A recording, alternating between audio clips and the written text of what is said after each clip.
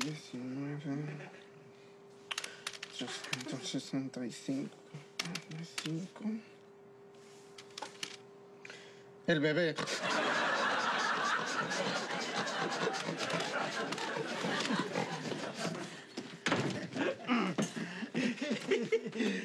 Eh, ¿Y te acuerdas de aquel tío que sí vino con nosotros toda la noche? ¿Cómo se llamaba? Eh, no sé, no me acuerdo. Pero tenía cambios de humor raro. Igual estaba triste, que enfadado o sorprendido. No, lo que pasa es que no tenía cejas. Entonces él se las pintaba y cuando se le borraban se las tenía que repasar y claro, no, no salía igual. ¡Qué gracioso! Rosario, ¿qué pasa? ¿Cómo estás? Regular mal. Que vosotros, ¿qué pasa? ¿Que quedáis muy a menudo fuera del trabajo? Sí, mucho. ¿Y por qué no me llamáis nunca? Eh, pues yo, bueno, yo es que cambié de móvil y la agenda del otro pues, la he perdido entera. El mío está roto y no funciona.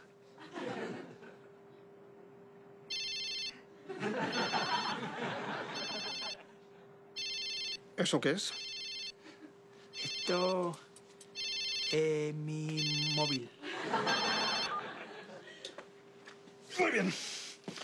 Ya sé qué es lo que está pasando aquí. De acuerdo, de acuerdo, Rosario.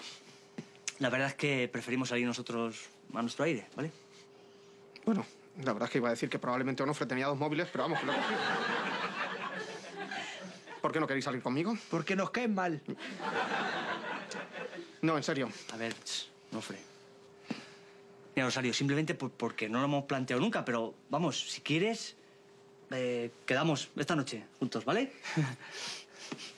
Quedamos esta noche, qué guay. ¡Vaya mierda! No, espérate, es al revés. Quedamos esta noche, qué guay. Vaya mierda. Ahora sí. Bueno, ahora ya da igual, ¿eh? Muchas gracias, chicos. No os arrepentiréis. Hombre, claro que no. Pero Rosario, ¿qué haces? ¿Que, que te iba a dar para que chocase las cinco? Ay, perdón, creía que me ibas a atacar. Claro, Emilio, es culpa tuya. Madre mía, esta noche qué bien lo vamos a pasar.